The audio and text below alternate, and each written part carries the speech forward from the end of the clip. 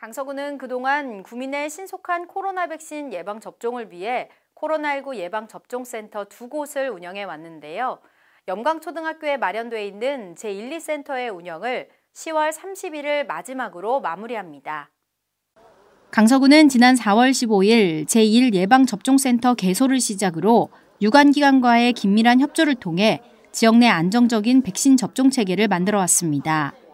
특히 코로나19 예방 접종이 가능한 백신 7개 의료기관과 위탁 계약을 체결해 지역사회 전반의 안전한 백신 접종 체계를 구축했습니다.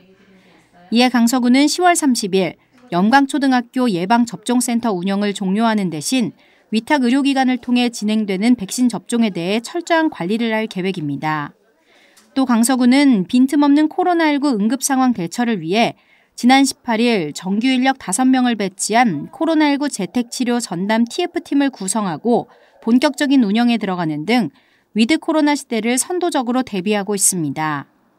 한편 강서구는 앞으로도 지역 내 코로나19가 종식될 때까지 긴장의 끈을 늦추지 않고 방역에 혼신을 다한다는 방침입니다.